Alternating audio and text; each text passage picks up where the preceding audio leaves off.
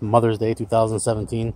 I uh, literally just put these uh, St. Louis style, I cut them myself, uh, ribs, uh, my firebox. I got them going good with some charcoal. Um, I only use my stack to start it. I don't use charcoal lighter fluid, even though that usually don't matter. Um, you can see I have uh, three big chunks of apple wood in there and probably about a half bag of charcoal. Um, so, and uh, I have the ribs right here. I have them all seasoned up with uh, typical things um, and some stuff that I, I use uh, for myself. Now, usually you see a lot of people take this silver skin off of these ribs here. Uh, the stuff that I put on them, uh, just the mixtures of stuff will literally break them down like it's not even there. Um, and it'll actually hold them uh, apart because the way I cook these ribs, when I'm actually done, they, um, you try to take them off the grill and they'll literally, uh, they'll fall apart and shred on you. So um, I like to keep that on there because it helps keep them together. Um, you can see I got some mods going on inside here. It's a little, little dirty. I did a lot of smoking the last two weeks. Um, the grate's not, but the stuff below it. Uh, so yeah, I definitely that's a smoke Oklahoma Joe's um,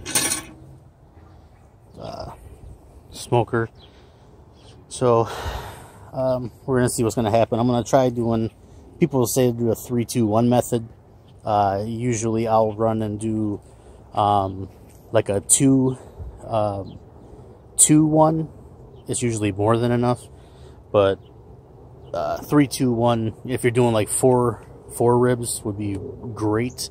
But seeing how I have, I don't have none of the remnants. It's just strictly you know St. Louis style. I already got the tops, the tips cut. Um, so this is really small stacks of meat. The applewood's going to penetrate into that really nice. Uh, and if you guys want any tips or anything about these mods, I have the clamps. Um, I have the fire the fire seal along the whole thing. Uh, these clamps that I have attached with high temp uh, Permatex. So I have that on each side. Uh, I have the seal around the fire box, which has to be a different type. Um, aftermarket, you know, temperature gauges, which these temperature gauges um, are not the best, as you can see. They actually can pivot. These are tightened all the way down. They actually pivot. Uh, so the only way I could get these adjusted properly is when it was 100 degrees outside, I had to stick it dead on 100 degrees from the sun. That's how I was able to actually pivot these properly. Um, I would not recommend this brand at all. Uh, and then I have the three, I think it's a three and a half inch elbow that's supposed to be for a dryer or uh, ductwork of some kind. I have that so it goes down almost to the grate. There's still a little gap in there. Uh, in order to allow the smoke to fill up the uh, chamber um, versus just going, you know, coming in through here, going across, and just dumping straight out the side up the pipe. So it'll actually bring it over, and then, uh, you know, it'll it'll kind of resonate before it actually will go out. And then I took a, I know it's kind of ghetto, but I took a side to an old HP computer box and I cut it to what I needed I don't know if you can really see that, but uh, it goes you know down here, and I have it cut out, and it comes back up and over, and then it's on like a mm, don't know 30 degree angle, and it's coming from the top of the firebox there, and it runs down uh, to the bottom of the grates, and what that's doing is it's allowing the heat to slowly spread out. Um, and then I just have a pan in there for some water just to introduce a little moisture. Uh, then I use this guy here. Uh, it's ThermoPro, ThermPro. Um, it's okay, it's not bad. And then I have a receiver on the inside of the house so I can watch it from inside the house when it's uh, the weather is not not great outside. Um, so I hang that right here, and that will I have a probe sitting there again, um, and that probe will let me know exactly what the temperature is of the smoke as it exits. Um, and then I have you know the secondary probe going into the meat where I want it to let me know when the meat hits what I want. So when this hits about two hours and 45 minutes or so, maybe two hours and 50 minutes, uh, and then um, I'm gonna run and or or if the meat hits like 160 ish degrees, I'll come out and throw foil on it. Um, I don't always do that, but then I'll come out and do, throw some foil on it for about an hour and 45 to two hours maybe. uh, until the meat hits right around 180 degrees, which is more than enough. And then when I pull that off, uh, the tinfoil off, the meat will have uh, receded um, off of the bone. I mean, off off the tips here. It, you'll you'll see how it's pulled back um, on my next lock clip. These down. This actually stops a lot of smoke from escaping out of the side once you lock it down. Uh, same thing, you know, I have it on both sides. Um, the thing you want to do, like on the smoke, you want your smoke, you want to barely be able to see it. Um, I'm actually getting a good shot because it's kind of dark out right now uh, with the sun. But you want it to be like a light blue hue where it's almost invisible. Um, if you get like super, super white, like, here, like if it's, if it's super white, then you're probably starving off, uh, you know, you don't have enough air to get into your firebox to feed so it's going to be choking out. Um, but even this, this is because it wasn't started too too long ago. But you can see how you can see almost through it, like it's transparent. You know, you can see straight through. So uh, you just want it just a light bit of smoke, um, just a little bit. So you can kind of see how, how, to me it looks blue. I call it like a blue smoke. Uh, that's that's what I try to keep it at. So um, we'll see where where it's at when we come back. This is how your smoke should look. Try to get a better shot on that. All right. I mean, you can barely see it. See that? Um, now that I have the other side adjusted right, and it takes a minute, especially when you're using a wood uh, smoker like me. It's not like you can set it and forget it like these electric smokers. Not that there's anything wrong with them. Uh, I just I like having control of all the elements because I can have my high heat here um, you know, obviously that's the firebox, that's heating it. It's coming over here and being exchanged into the actual smoker. And then uh, it's will tell me what my, my temperature is, where the fire is, the, the initial heat's bleeding over into the box. And then it'll give me where it is coming across here to the smoke temp. And in case there's any doubts and there is something skewed about that, uh, then I have my digital right here that will relay to me remotely uh, exactly what's going on. That way I know the, where the smoke temperature is inside of there. Um, and it may be overkill, but it's something I really, really enjoy. So, again, uh, this is exactly what you want on a smoker. If it's more than this, you could have bitter meat, um, and you could have a lot of wasted meat. Uh, there's nothing worse than uh, a lot of people expecting good smoked food and then um, you having to break the news or make excuses on why it doesn't taste well. so, uh, yeah, so this is what you're looking for. Again, this is what I consider to be called blue smoke because to me, that's kind of what it looks like. It's a dark gray. Uh, there's no sooty, nasty mess. So you'll find the perfect ratio once you get the once you get the charcoal or wood started, and you get it burning to the right uh, consistency. Then you adjust that airflow. Um, if, you know, after you close the top of the firebox, you have to adjust the airflow and um, that would be done on most things by doing uh, you could do this this door this this door just doesn't allow enough air in. Uh, so I use that in conjunction with actually opening the door. And I found the right ratio to uh, to get the that almost invisible blue smoke that um, that I go after. So um, so yeah so we'll see you in a bit and get you an update. So if you're ever trying to make perfect smoked things, yeah, especially your proteins, um, this this this this color smoke is the ticket right here, right there. So that's it. And uh, again, if you guys need any information or want to know uh, about any mods uh, that I've done to the smoker, um, or uh, what brands that I've used, or I've used other things too that have failed. So if you guys even have any questions, feel free to ask. Uh, I will answer them. So I think two hours and 40 minutes or so. I'll go ahead and see how she's doing. All right, so this is where we're at so far. You can see how the meat is recessed off the bone. And here as well. So, yeah, it's uh now it's time for me to get them wrapped up and get maybe just a little more heat on them. Yes, they're not quite. I'll have to roll them too.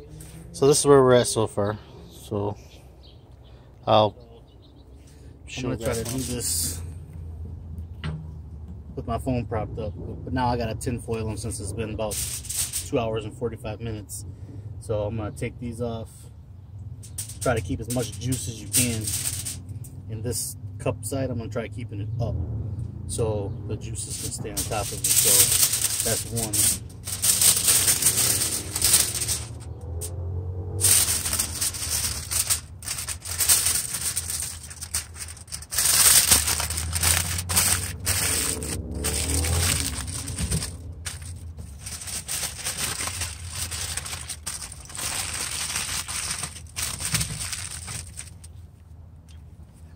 Is going to require because I don't I got the cheap tin foil so it's not really big enough to go around everything.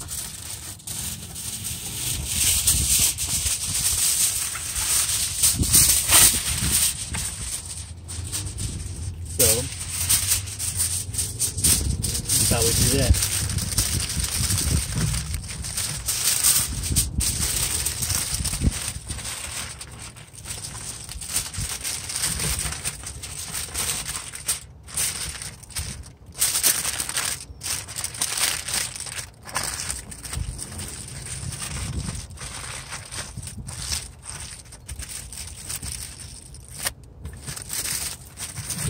throw it back over again. I keep the cup side facing up. I'm gonna throw these back on here.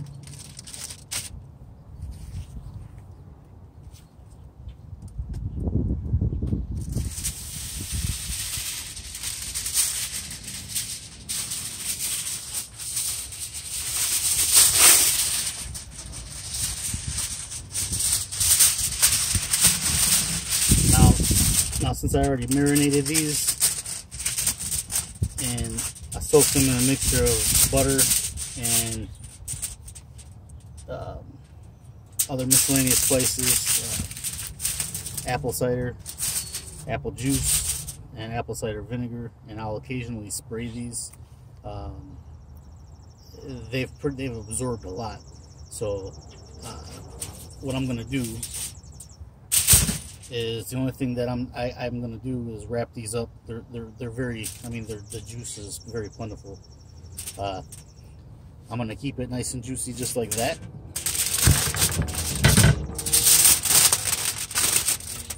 And wrap it up.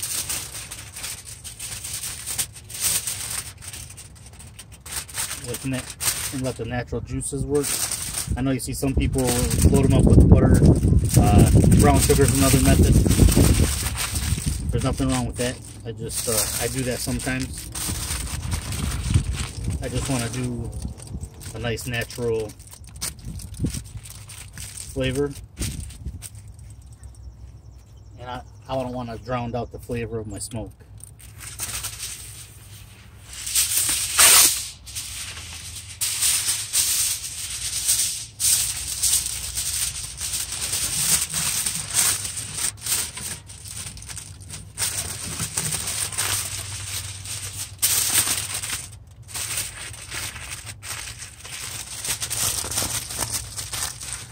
And yet you know even as of an hour ago the ribs were technically done.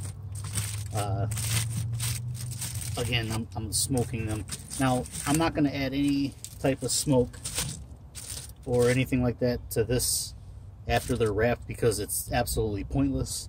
It cannot penetrate the metal. Uh, so I'm gonna I would be wasting wood at that point. Um, so I'm pretty much done. This is all going to be offset heat from this point. Um, I'm going to have no more, uh, there's going to be no more wood applied to this after I finish these guys up. Um, you're going to see uh, them when I unwrap them. They're going to be extremely juicy. There's going to be juice, juice dripping out of these things. Um, it's very important that they have rest time after they're done cooking. Uh, so I'm going to go ahead and add a little more charcoal to my box. This is where I'm at right now. So I'm going to clean out some of the coals. I do that by shaking the lower rack a little bit and scraping it out with a long old spatula that I don't use, which is right here. And uh, that way the air flow doesn't get blocked from underneath it. I'm going to add a few more bricks on top of there with all of this still left open uh, because we don't want that nasty, I don't want that nasty soot coming over into my cook, my food chamber.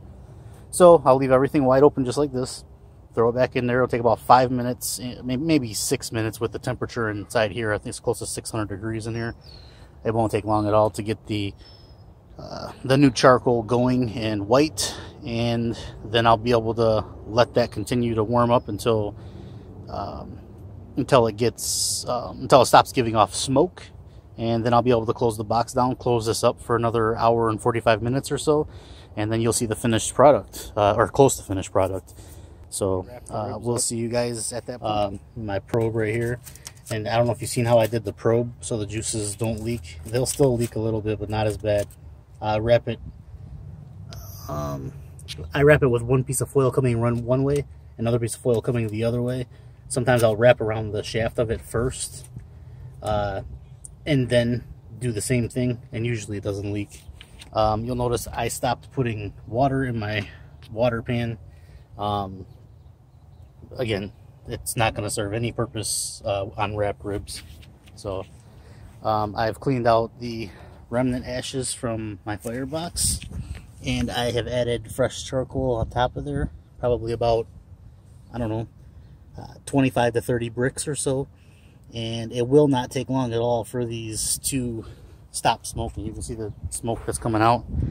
When I'm using just charcoal I want no smoke none. So I will let this keep going. Um, it's gonna not even gonna be five minutes and it's already turning white. It hasn't even been in there for 45 seconds. And I will uh, it should be able to um, close this down and let this to finish cooking. Um, I'll shoot for a more higher heat when I'm doing this uh, because I'm trying to get these the rib temperatures now I want my thermometer at least saying 180 to 185 degrees uh, for one reason I don't uh, I'm not trying to overcook them but uh, since they're wrapped in foil now I'm trying to get them to uh, release the juices, um, which will reabsorb into them as I let them set later. But I want them to uh, basically when you do that, and then and then it'll it'll just they're going to fall off the bone. When I take these, when I take the foil off of these, you're going to see if I wanted to twist one of the bones off, uh, it would twist off. And, and you guys, I'm sure you already know this. If you're watching this video, you're already uh, have been working on you know with smokers and barbecues. I'm sure. Uh, but uh, th this is just uh, is what they call the three two one method. It just it never really takes. It's a good rule of thumb, but it, for me it's like two and a half hours the first time, uh, hour and a half maybe the second time, and then maybe thirty to forty minutes uh, on the third one. So it's not really a three two one. Um, I guess it's a good. I don't know guide, uh, if you will, but um, to me this just works out better. I'm it, it, I started off doing the full three, the full two, then the full full one, and it just seemed uh, I it, I don't know it, it didn't seem to make a difference whatsoever. Um, the meat wasn't any more tender. It didn't taste any more different. It, it was just uh, it, it just seemed like it was wasted heat, and then you have to add more charcoal for. Uh, you know, when I do like a half bag of charcoal, it'll it'll get me like two hours and 30 to 2 hours and 45 minutes before it starts falling under uh, 220 degrees. So to me, I'm not. I wouldn't want to have to leave this open, you know, and and then heat more charcoal up uh, and wait for the smoke to go down, and then close everything back up just for to put it back in there for another 25 minutes um, or whatever. Uh, to me, it's just a waste of charcoal, and, and, it's even more of a waste of time. So. Uh, well, that's the method of my madness. I don't know. You, you'll find your own shortcuts or um, know, whatever you find more beneficial. So as you go. But yeah, so um, I'm going to be locking this back down and I will see you guys when it's time to get these wraps off. So here we are. I don't know. Uh, about an hour and 40 minutes later. I'm going to open these guys up see what we have. I can actually, I know I can safely remove this probe. It's not going to serve me any purpose. So, let's see. I hope you guys can see this okay. It's to be hot, but let's see. Okay.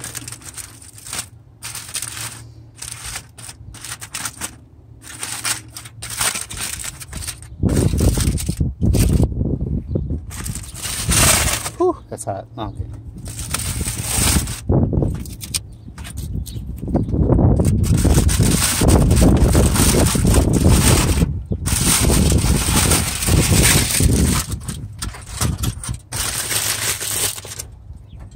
Sorry, I'm sure the noise is probably a little aggravating, but alright, now you can see the good recess along the bone.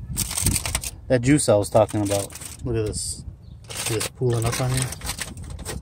Underneath it. These bones. I can I could literally twist these out of here if I wanted to. I don't want to, but I mean you can see just it's it's so tender. Now I'm still gonna do you know, I'm still gonna do another 60 no, I'll probably do another 40 minutes uh, on this low heat. But I mean, you you can you can see how how good that they have turned out. So I mean, this like I could twist this right out. I mean, it's so so moist. So what I do now, position this, and I flip it like this. See, now I've been cooking on its back that whole time, and now that's over now I'm gonna let the juices redistribute in there. Do the same thing with this one. And uh, we should be good to go. So uh, the final finished product will give you, I'll, I'll you know, show you. Uh, again, it's gonna be probably another 40 minutes or so. Should be uh, so ready to eat. this should be the finished product. See, you can see how I don't know. I mean, it's, about to fall apart. It's like this bone here. I can just, you know, pull it. It's just as smooth as can be. See what I'm saying? So, there's that. Gonna go ahead throw that down in my firebox so my dogs don't get it. And put these things on the grill, or get these things off the grill, I mean. So,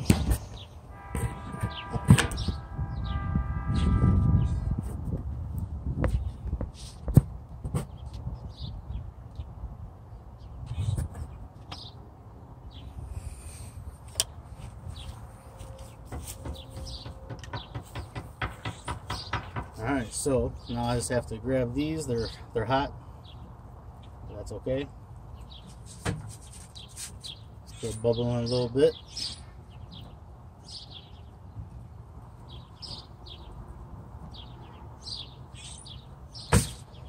So there you go. And then, like I said, that silver skin or whatever, it's a joke. I mean, I can, there's, what silver skin? you see what I'm saying? Uh, yeah, not too bad. Um, I mean, I've made much better ribs. You can slow cook them. Uh, you know, pretty much whatever you want to do. I mean, these technically were done long, long ago. Uh, they just weren't done up to my standards. But yeah, like I said, I mean, just comes out, goes back in. so that's that. Uh, again, if you have any questions or comments, please uh, ask. Um, I'll be more than happy to answer them if I'm able. Um, just let me know.